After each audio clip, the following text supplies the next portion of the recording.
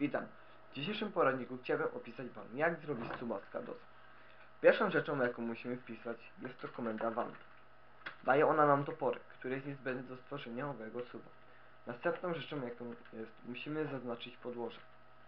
W tym celu naciskamy lewym przyciskiem myszy. O, działa. Teraz idziemy na drugi skos.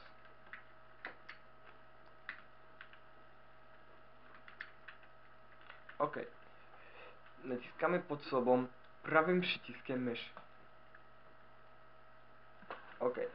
Teraz wpisujemy region define H nazwa działki spacjanik. W moim przypadku będzie to H Adam Adam. Na koniec wpisujemy region Save.